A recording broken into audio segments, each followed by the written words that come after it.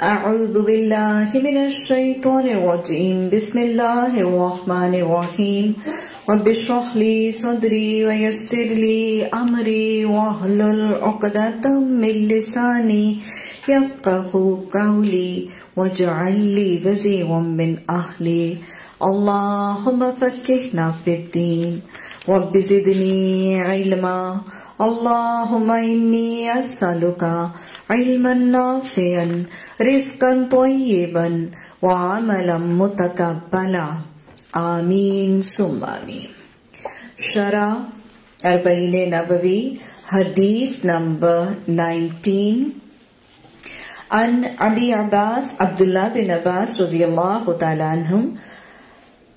कुंतु उन्होंने कहा मैं था हल्फन नबी सल्लल्लाहु अलैहि वसल्लम यौमन। हज़रत अब्दुल्ला बिन अब्बास रज़ी रवायत करते हैं कि एक दिन मैं नबी सल्लल्लाहु अलैहि वसल्लम के पीछे सवारी पर बैठा था। पहले हदीस पढ़ लेते हैं, फिर वजाहत करेंगे। आप सल्लल्लाहु अलैहि वसल्लम ने फरमाया, ए बेटे, मैं तुझे कुछ कलिमात सिखाता हूँ। और वो कलिमात क्या है? नंबर वन अल्लाह को याद रख। अल्लाह तेरी हिफाजत करेगा। अल्लाह को याद रख, अल्लाह को तू अपने सामने पाएगा। और जब सवाल मकसूद हो तो सिर्फ़ अल्लाह से सवाल कर। और जब तुझे मदद की ज़रूरत हो तो सिर्फ़ अल्लाह से मदद मांग।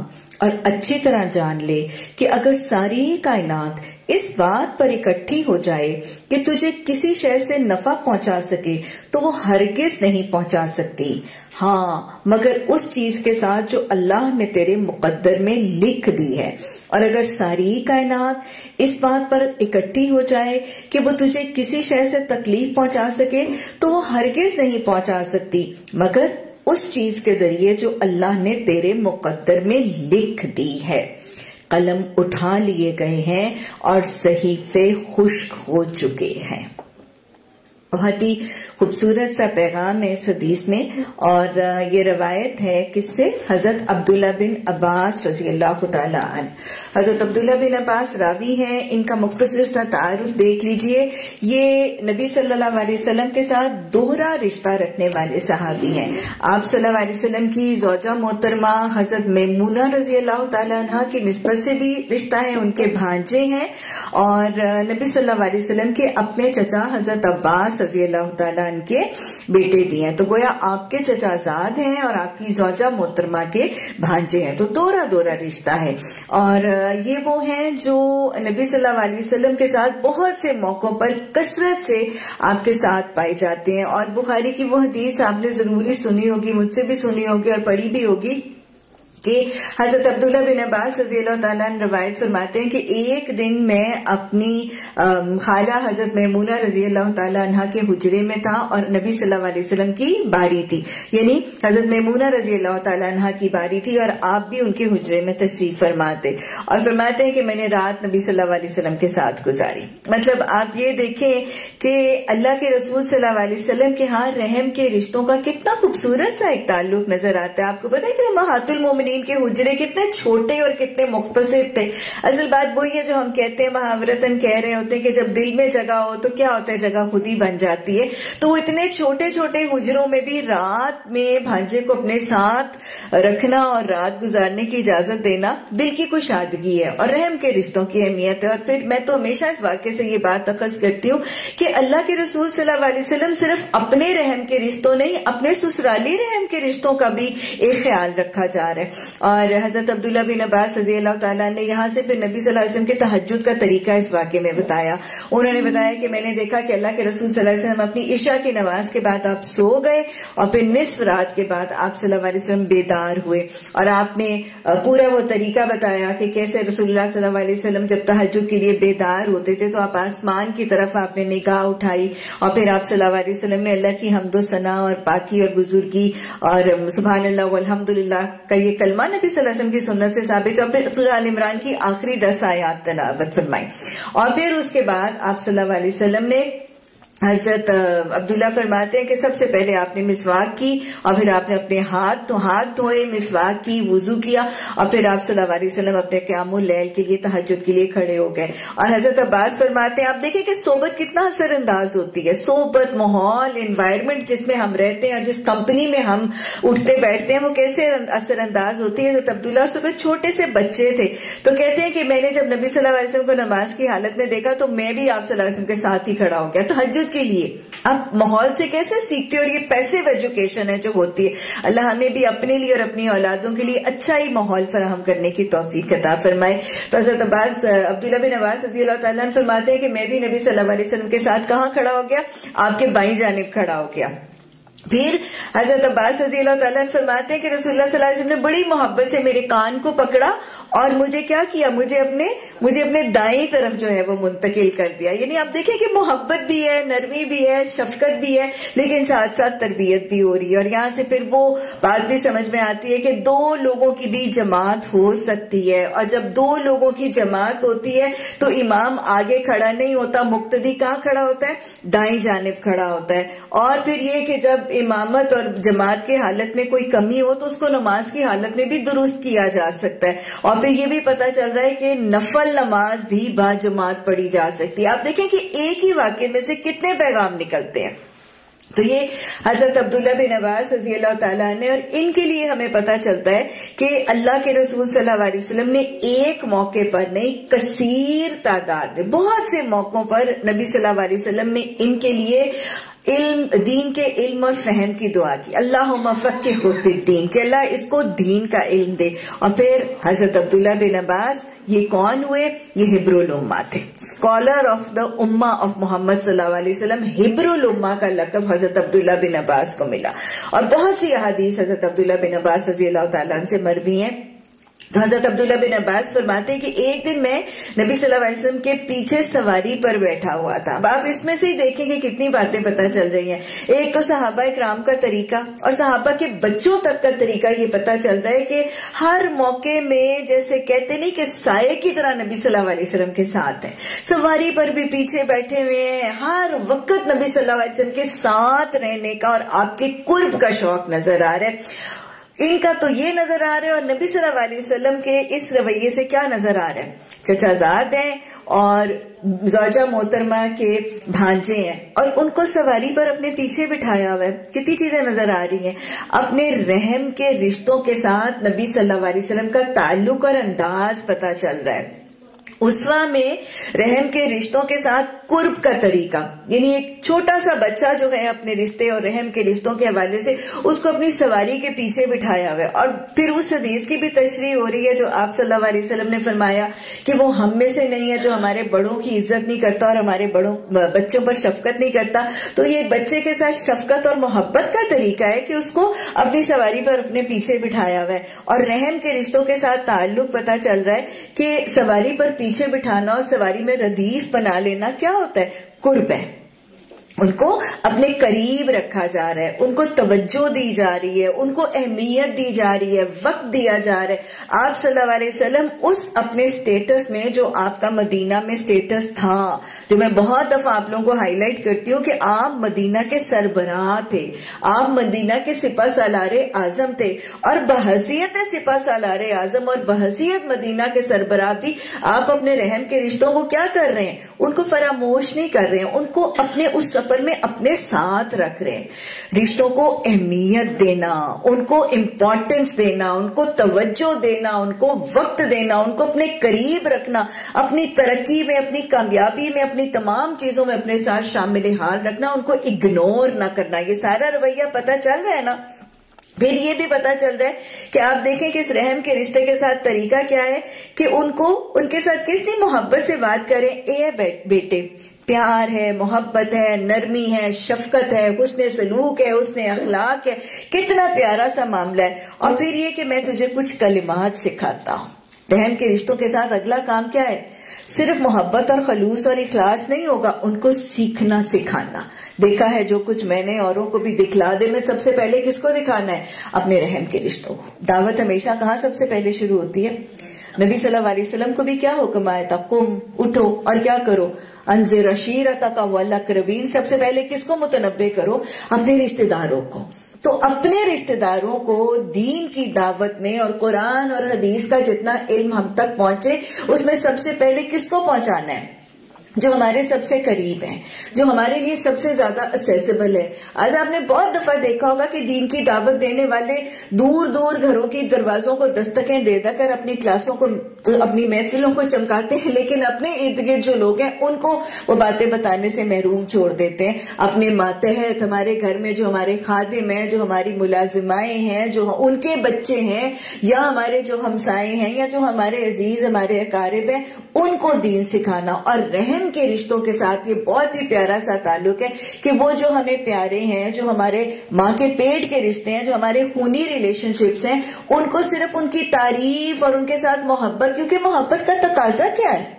मोहब्बत का तकाजा यही है ना कि जिससे दिली मोहब्बत है और जिससे खैर खाई है, उसको जन्नत का रास्ता दिखाया जाए और उसको जहन्नुम से, जहन्नुम के गड़े से बचाने की कोशिश की जाए। तो रहम के रिश्तों के साथ करने का एक काम क्या है कि जो हम सीखते जाए, वो उनके साथ शेयर किया जाए। ये इल्म, ये सारे का सारा फहम उन तक, मुंतकिल किया जाए। अल्लाह हमें इस उसवा के नमूने पर अमल करने की भी तोफीक कता फरमाए और अल्लाह हमारे लिए ये अमल आसान भी बना दे।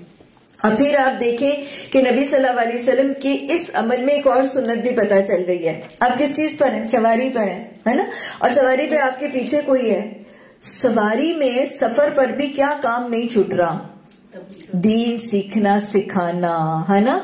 दीन सीखना सिखाना, तालीम, तबलीग, दावत कहाँ देनी है? हर जगह, हर वक्त, हर हाल में, हर एक को दावत दी जा रही है। बच्चों को भी दी जा रही है, बड़े को भी दी जा रही है, अपने को भी दी जा रही है पढ़ाई पर भी दी जा रही है।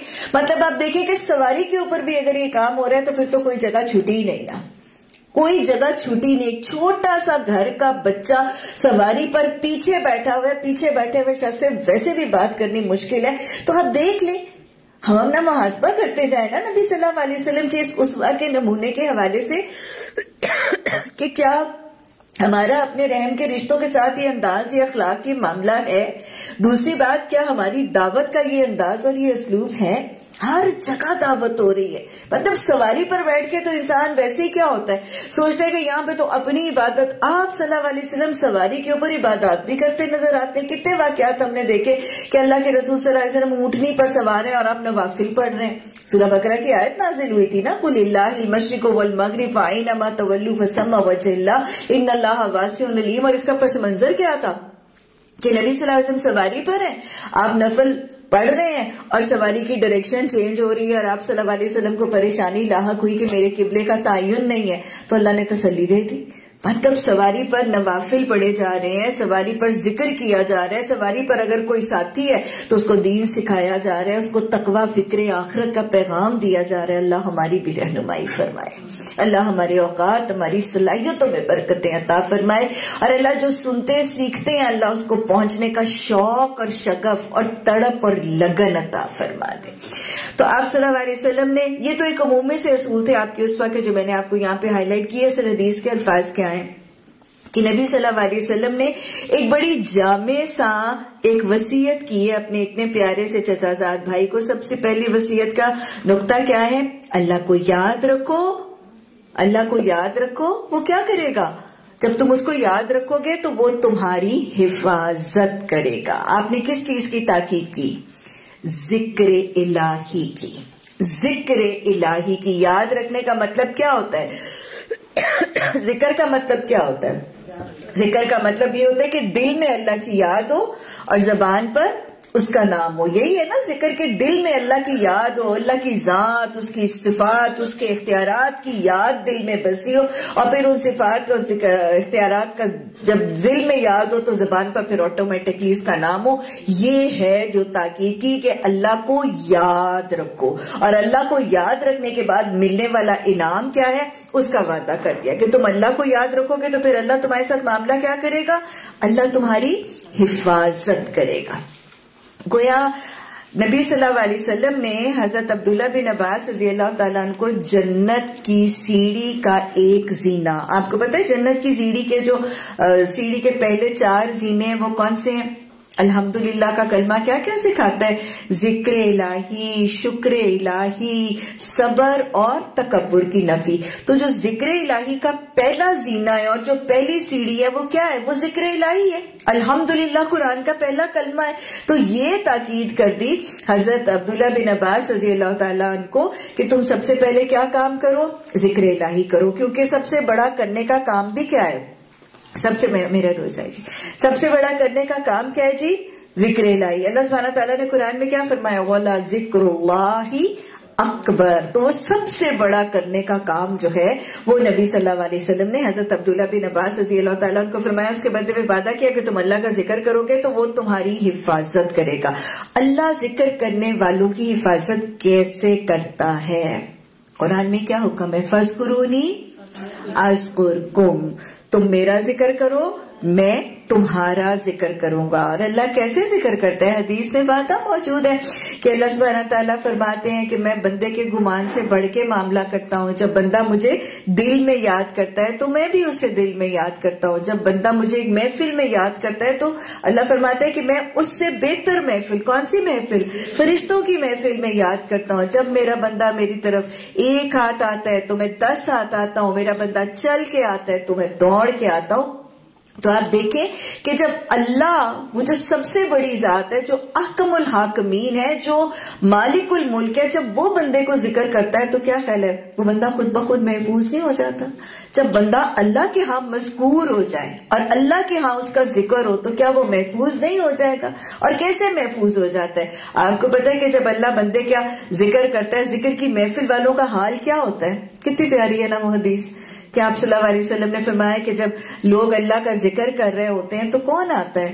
फरिश्ते उसमें फुल, बड़ी तवील सी हदीस है, मफहूम बस दोहरा लीजिए कि जब लोग बैठे होते हैं और जाकिरीन, अल्लाह कसीरा, वो अल्लाह का ज़िक्र कर रहे होते हैं, अल्लाह के अहकाम अल्लाह की बातों का, जात, सिफात इख्तियार का तो फरिश्ते उस महफिल को घेर लेते हैं, ज़मीन से लेके आसमान तक उसकी घेरा बना लेते हैं। और जितनी देर वो लोग बैठे रहते हैं, वो क्या कर रहे होते हैं? उसके लिए बख्शिश और रहमत की दुआएँ कर, ये हिफाजत ही है ना? उनकी बख्शिश और रहमत की दुआएँ कर रहे होते हैं जब महफिल खत्म होती है और फिर सारे सारे निश्चितों से उठ के अपनी अपनी तरफ़ चलते हैं, जैसे इंशाल्लाह आज फिर महफिल के बर्खास्त होने पे हम सब जाएँगे तो वो फरिश्ते कहाँ जाते हैं? फरिश्ते अल्लाह के हजूर चले जाते हैं और अल्लाह के हजूर फिर मुकालमा होता है। यही है ना फस कुरूनी असकुरकुम मैं तुम्हारा ज़िक्र करूँगा। फिर वहाँ पे हाजरी ने महफिल का तस्करा होता है वहाँ पे उनका ज़िक्र होता है। और क्या ज़िक्र होता है? ये कौन थे? इलाही तेरे बंदे थे। क्या कर रहे थे? इलाही तेरा ज़िक्र कर रहे थे। क्या चाहते थे? इलाही तुझसे तेरी बख्शिश के तलबगार थे। अल्लाह क्या कहता है? मोहम्मद वसल्लम ने फरमाया ना कि ज़िक्र करोगे तो वो तुम्हारी हिफाजत करेगा। अल्लाह क्या फरमाता है? अल्लाह फरमाता है, इन सबको कह दो, इनके उठने से पहले मैंने इनके गुनाह बख्श दिए। अब हिफाजत किसकी करता है? हिफाजत किसकी करता है? ज़िक्र करने वालों की हिफाजत, उनके गुनाहों को बख्श के उनकी हिफाजत जहन्नुम से करता है। जब लोग ज़िक्र करते हैं तो ज़िक्र करने वाले, ज़िक्र की महफिल में बैठने वालों के जब गुनाह बख्श दिए जाते हैं तो वो किस चीज़ से महफूज हो जाते हैं?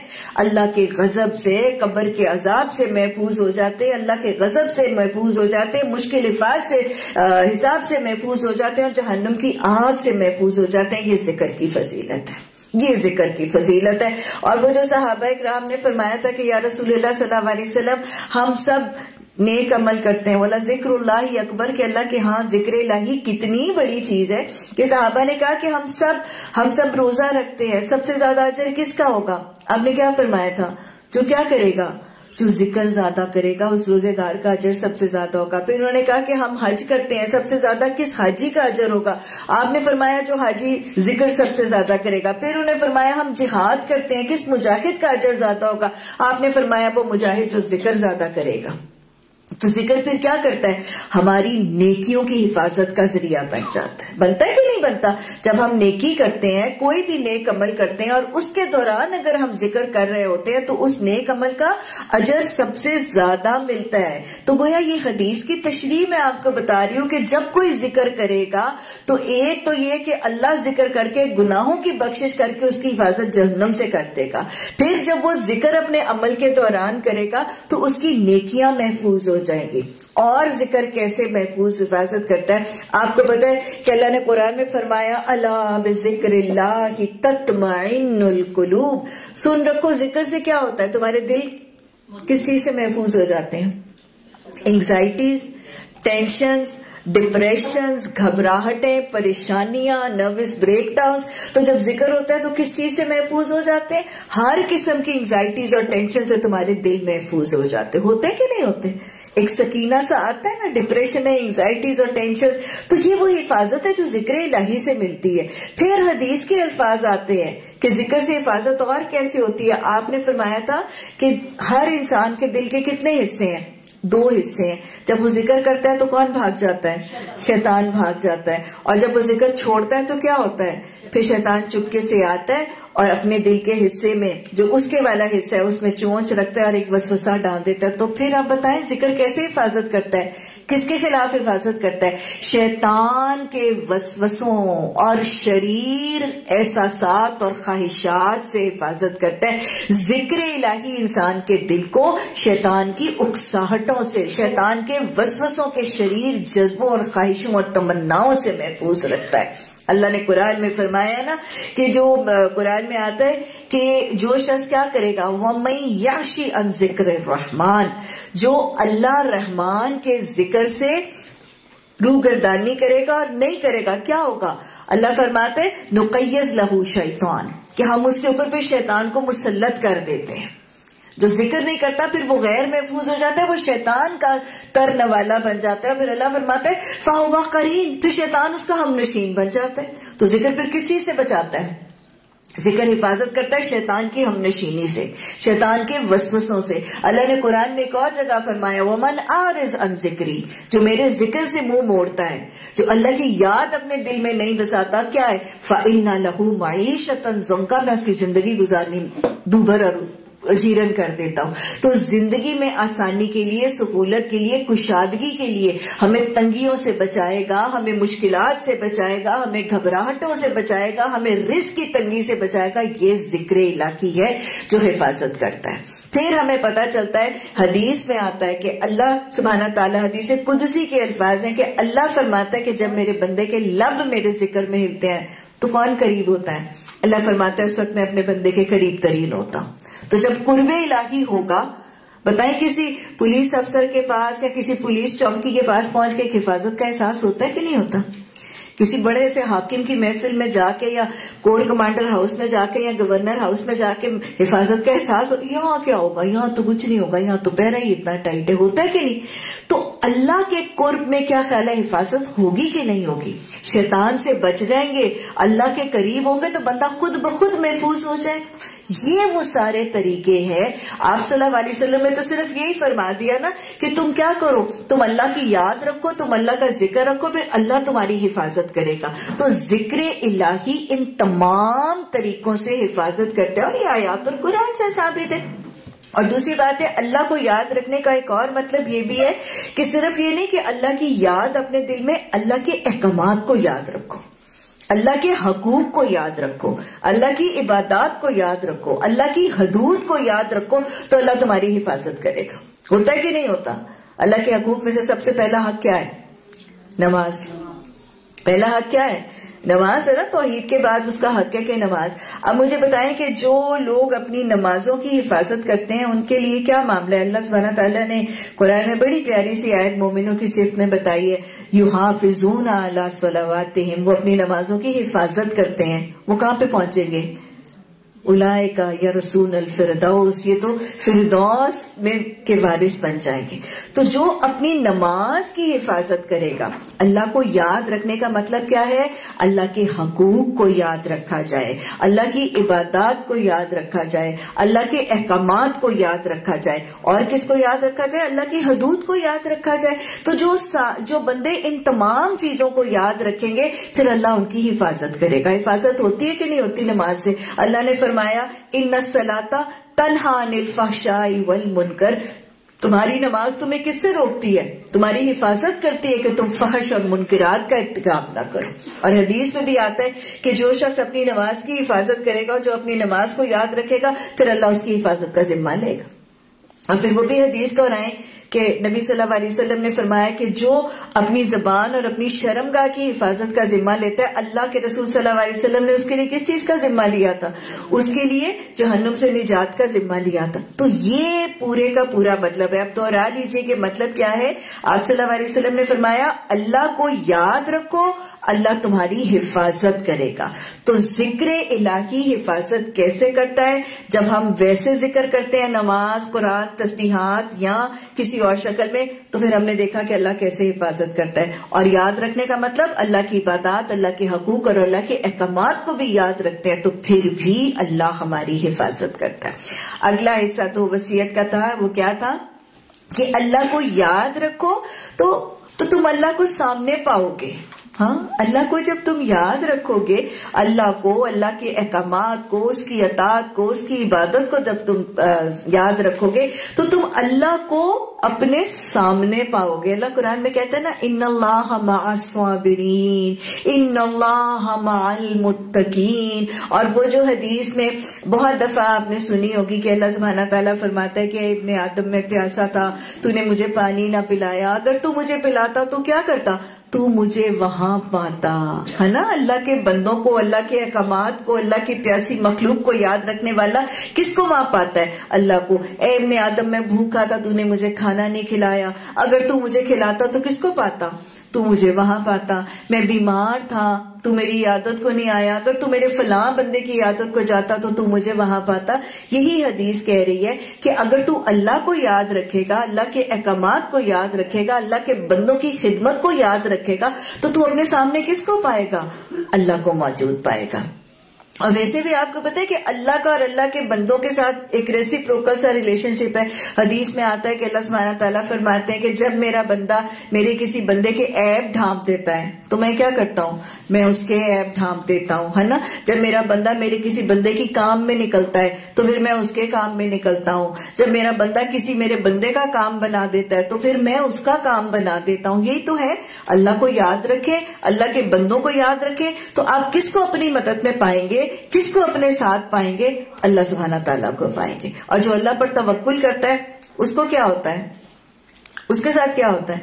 हज़रत मोहम्मद वसल्लम और हज़रत अबू बकर सिद्दीक रज़ी अल्लाह तब गारे सौर में है तो उनको किस चीज़ का एहसास था? अल्लाह माना। अल्लाह याद था तो अल्लाह हाजिर था ना।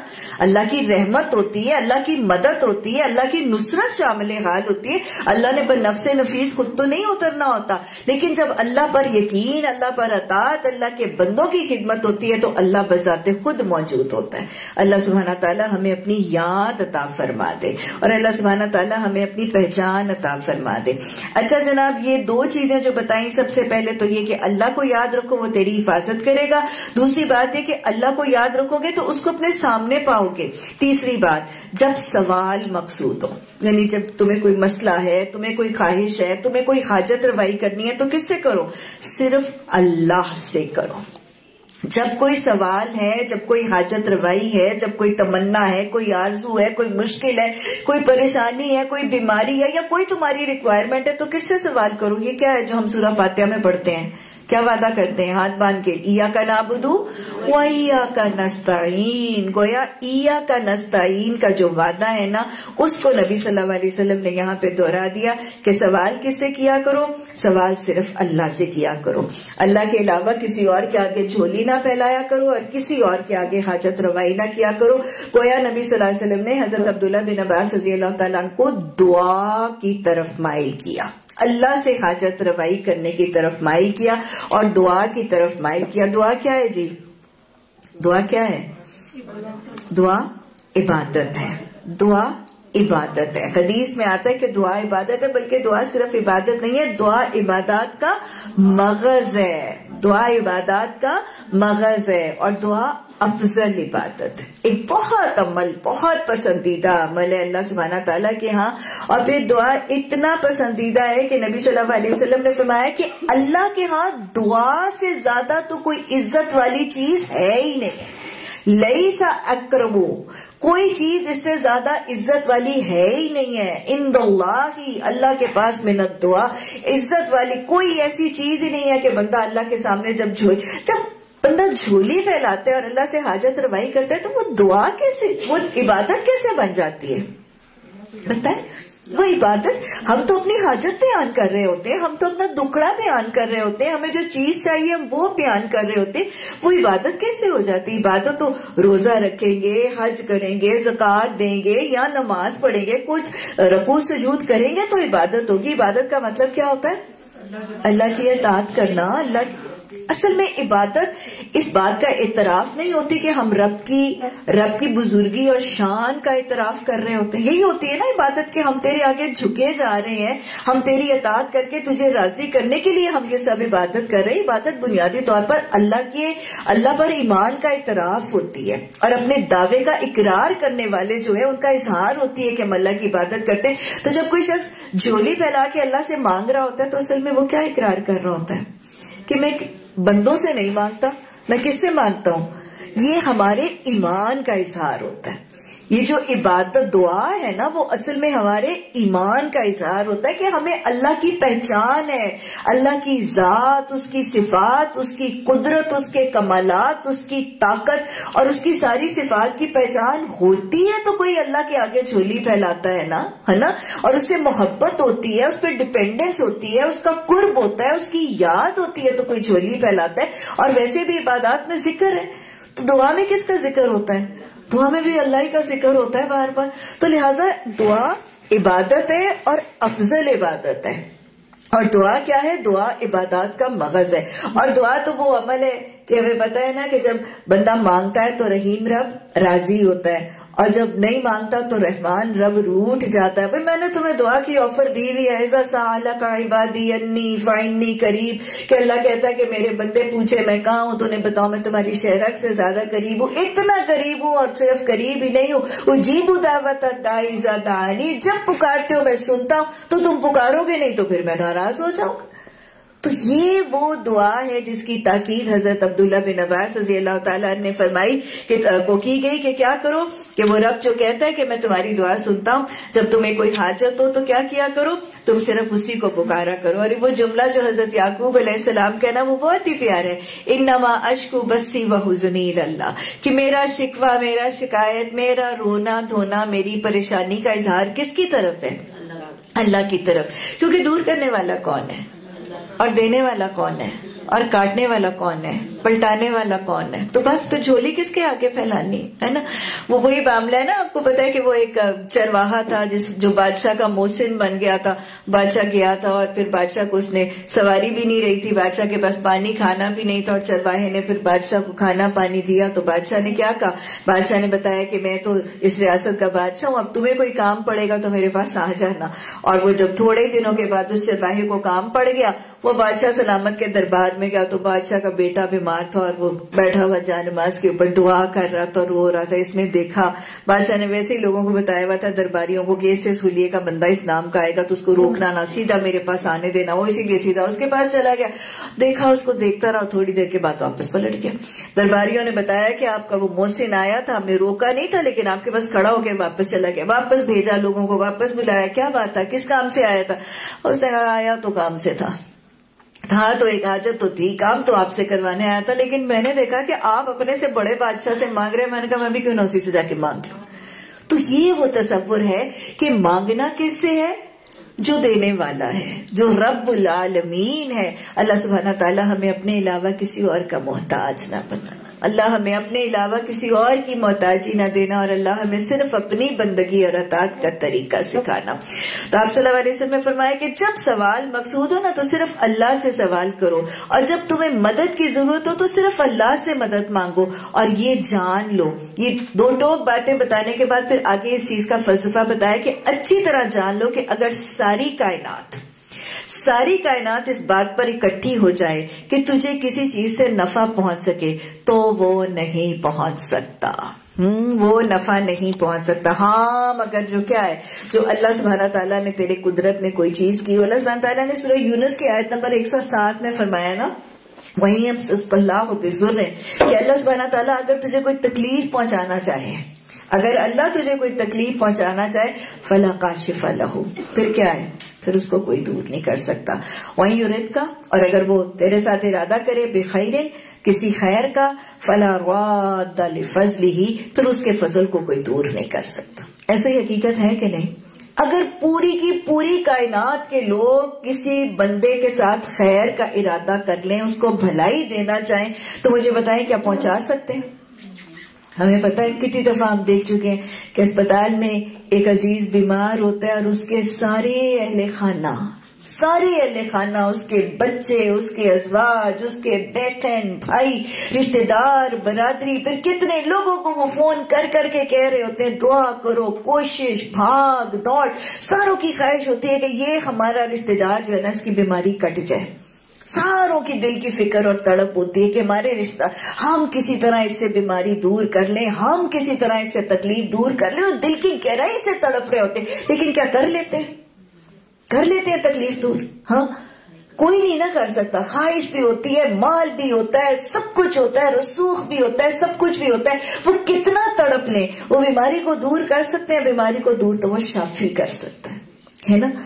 बीमारी को दूर तो कोई दुख बच्चा औकात माए बच्चों को वालदेन औलादों को देखते हैं। माली तंगी किसी का कारोबार नहीं चल रहा किसी का रिश्ता नहीं हो रहा किसी की नौकरी नहीं हो रही और माए परेशान है। दस लोगों को कहती फिरती है दु, दुआ करें मेरे बेटे को अच्छी को जिसका मामला दूर हो जाए। दुआ करें मेरी बेटी का रिश्ता हो जाए।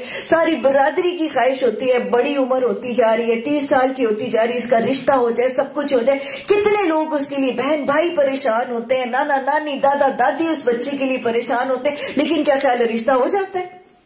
कब होता है? सारी कोशिश कर ले, घर है, कोठी है, जायदाद है, हुसन है, डिग्रियाँ है, माल है, कितने ख्वाहिश करने वाले, कितने भाग दौड़ करने वाले, कितने बारसूख लोगों को कहने वाले, कोई अच्छा घर बता दो, बर बता दो, हो जाता है? नहीं होता ना। होता कब है? जब अल्लाह का हुक्म ऐसे है ना कितने बच्चों की ख्वाहिशें होती हैं पेरेंट्स को कि हमारे बच्चे सेटल इन हो जाएँ और माँ बाप कितने पापड़ बेलते हैं, कई सिफारिशें करवाते हैं, कई रिश्वतें देते हैं, सब कुछ करते हैं। लेकिन वो बच्चा सेटल इन कब होता है? उसका रिस्क कब खुलता है? जब वो राजिक खुलता है, तभी खुलता है। ना तो यही अल्लाह सुबहाना तला ने नबी अलैहि वसल्लम ने बताया कि तुम लोगों से मांगो ही ना। ये लोग तो तुम्हारे मांगने के बगैर खुद भी तुम्हारे लिए चाह रहे होंगे ना फिर भी तुम्हें नहीं दे सकते। तो जिसने देना है जो जिसके हुक्म से होना है मांगना है तो उससे मांगो। और फिर ये भी वही बात है इसी से मिलती जुलती बात कि अगर सारी दुनिया के लोग नुकसान और तकलीफ़ देना चाहें तो क्या ख्याल है कोई दे सकता है? कोई दे सकता है? हाँ? वो फिर ने पूरे के पूरे कितने लश्कर जमा कर लिए थे? क्या ख्याल है? कत्ल का इरादा कर लिया था कि नहीं किया था? हज़रत यूसुफ अलैहिस्सलाम के कितने नौजवान भाइयों ने कत्ल का इरादा कर लिया था कि नहीं कर लिया था? हाँ कितने यहूद मोहम्मद सल्लल्लाहु अलैहि वसल्लम की जान के दर पे आ गए थे कि नहीं? कभी जहर आलूद गोश्त खिलाया जा रहा है, कभी चक्की का पाट गिराने की कोशिश की जा रही है, कभी आपका मुँह मुबारक लेके जादू करने की कोशिश की जा रही है। सारी कोशिशें कर ली ना यहूद ने, बनी इसराइल ने अपने उस जहर, दुश्मनी के जहर में आके। हज़रत यूसुफ सलाम के खिलाफ बार बार बरदरान यूसुफ ने क्या कहा था? हम जत्था हैं, हम कितने ताकतवर हैं, हम कितने समझदार हैं। वो एक यूसुफ सलाम एक छोटा भाई था और वो कितने नौजवान थे, क्या खैर नुकसान दे दिया था। तकलीफ़ तो अल्लाह के हुक्म से आई थी। तकलीफ़ तो अल्लाह के हुक्म से आई थी और फिर गई किसके हुक्म से थी? अल्लाह के हुक्म से गई थी। मतलब आप देखें कि कितने लोगों ने हज़रत इब्राहिम सलाम के लिए वो आग का अलाव तैयार किया था। उन्होंने जलाने का इरादा किया था। क्या उन्होंने जला लिया था? क्या उन्होंने जला लिया था? नबी सल्लल्लाहु अलैहि वसल्लम के घर का मुहासरा किया साहबा नबी सल्लल्लाहु की हयात तय्यबा में, और कैसा वो उन्होंने प्लॉट बनाया? नबी सल्लल्लाहु के सर, मोबाइल की कीमत उन्होंने सौ ऊँट लगाई, लेकिन क्या बाल बीका हो गया था? हुआ क्या था? जब तकलीफ़ आती थी तो अल्लाह के हुक्म, दंदान मुबारक, जब मोहम्मद सल्लल्लाहु अलैहि वसल्लम का शहीद हुआ तो अल्लाह के हुक्म से हुआ। बड़े बड़े दुश्मन बड़े बड़े ताकतवर बड़े बड़े जालिम बड़े बड़े जाबिर, अगर कोई तकलीफ़ देना चाहे तो कोई दे सकता है। तकलीफ़ किसके हुक्म से आनी है? आनी है अल्लाह के हुक्म से। तो एक तो बात यह कि परेशानी और दुख और गम में झोली सिर्फ़ अल्लाह के आगे फैलानी और झोली फैलाने के बाद, कोशिश करने के बाद फिर तवक्ल उस पर करना है। और जब कोई अपने खिलाफ दुश्मन है, कोई मुखालिफ है, कोई नुकसान पहुंचाना चाहता है, कोई तकलीफ़ देना चाहता है तो अफराद और इंसानों से डरना छोड़ दीजिए। अब इफराद और इंसानों से डरना छोड़ दीजिए। डरना कैसे अल्लाह कहता है, फला शव हम वक्षौनी लोगों से ना डरा करो, मुझसे डरा करो। तो बस औकात लोग नज़र से डर रहे होते हसद से डर रहे होते, जादू से डर रहे होते। हाँ ठीक है, इसका मतलब ये नहीं कि डरने हम डरेंगे किसी और से, सिर्फ़ अल्लाह से डरेंगे और हम अपनी बचावट, बचाने की कोशिश नहीं करेंगे और अपने इलाज की कोशिश नहीं करेंगे और अपने हिफाजत की कोशिश नहीं करेंगे। वो सब कुछ करना है। लेकिन वो सारी सही और कोशिश करने के बाद फिर किस पर तवक्ल करना है? फिर अल्लाह पर तवक्ल करना है। दुनियावी चीज़ों से डरना और दुनियावी चीज़ों से खौफजदा होने का तरीका नहीं। कितना सकीना और सुकून आ जाता जाता है इंसान की ज़िंदगी में जब इंसान यहाँ की चीज़ों पर डिपेंड करना और लोगों के पीछे भागना छोड़ दे और लोगों से डरना छोड़ दे। अल्लाह सुबहाना तला हमें अपनी पहचान और अपना तवक्ल अता फरमा। और फिर आप सल्लल्लाहु अलैहि वसल्लम ने फरमाया कि क्या है कि कलम तकदीर लिख दी गई है, कलम उठा लिए गए और सहीफे खुश्क हो चुके हैं। तकदीर पर बात हम पीछे हदीस में बहुत वजाहत से कर चुके हैं। असल में इस हदीस में आपने यही फरमाया कि जो सारा फैसला तुम्हारा करना था, वो अल्लाह सुबहाना तला कर चुका है। इसलिए लोगों से ना डरा करो और लोगों से ना मांगा करो। डिपेंड भी अल्लाह पर किया करो और खौफ भी उसी का किया करो। अल्लाहुम्मा ती नफ्सी तकवाहा अल्लाहुम्मा इन्नी अस्सलुकल हुदा वत्तुका वल अफाफा वल गिना रब्बना ला तुज़िग क़ुलूबना बअद इज़ हदैतना व हब लना मिन लदुनका रहमा इन्नका अंतल वहाब सुब्हानकल्लाहुम्मा व बिहम्दिका नशहदु अन ला इलाहा इल्ला अंता नस्तगफिरुका व नतूबु